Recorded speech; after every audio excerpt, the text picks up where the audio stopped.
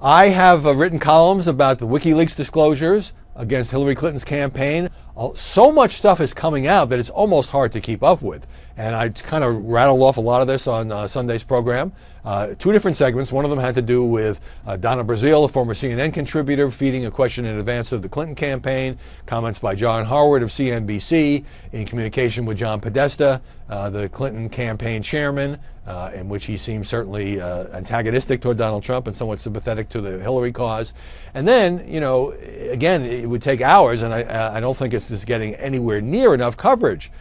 People in the Clinton campaign talking uh, in disparaging terms about Catholics, needy Latinos, the head of the NAACP, collusion with the State Department over uh, the way in which certain emails from Clinton confidant Sid Blumenthal would be leaked to the AP, uh, possible even beyond collusion in terms of uh, trading off uh, what the State Department might do in exchange for making uh, emails that Hillary Clinton sent from her private server that had been classified into unclassified emails and a lot of other stuff just about the politics of it. Um, and one person saying, one of Hillary's advisors from the outside, uh, saying that she just doesn't come off as credible because she's not genuine in television interviews. So a whole lot of stuff to deal with, prompting this email from Ben one didn't want his name used, so I'll just call him Ben.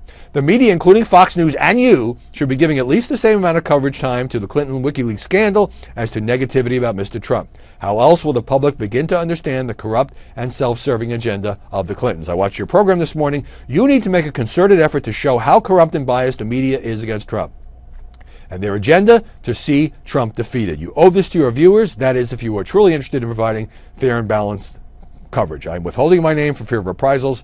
That is what our country has come to. Well, I respect that, Ben.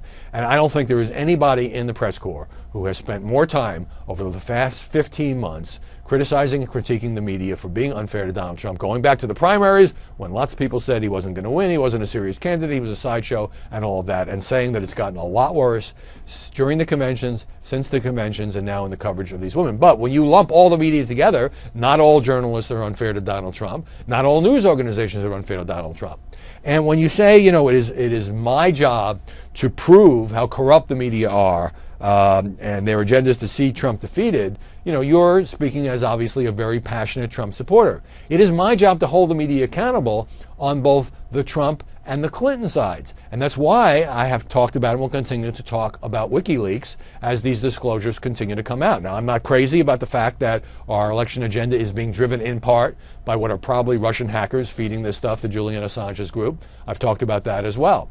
Um, but I think that, that, that Trump supporters are so angry at the media right now, and maybe at the political system that Donald Trump has been taking on since the day he got in this race, that they think everyone in the press is corrupt, and they think that covering allegations against Trump uh, is, is just not warranted. Katrina Pearson, his spokeswoman, told me that we shouldn't be covering uh, the allegations by these women about sexual misconduct because she believes they are unsubstantiated, although we certainly covered uh, allegations against Bill Clinton in, in the 90s which of course led up to impeachment. Um, so, uh, bottom line is, I agree with you on WikiLeaks. It's a little more complicated to explain, and it's a little bit more sort of standard, routine, anything from political back scratching to coziness with the press to perhaps outright corruption. Um, but right now, the sexual allegations have been so prominent. And let's face it, the media love to talk about this stuff. They don't particularly like Trump. They get ratings and clicks by doing it. That there is an imbalance, which is what I said on the show. Doesn't mean I have to devote the same number of minutes every week to each story. I'm not running a news show, I'm running a media program. Uh, and I appreciate the feedback.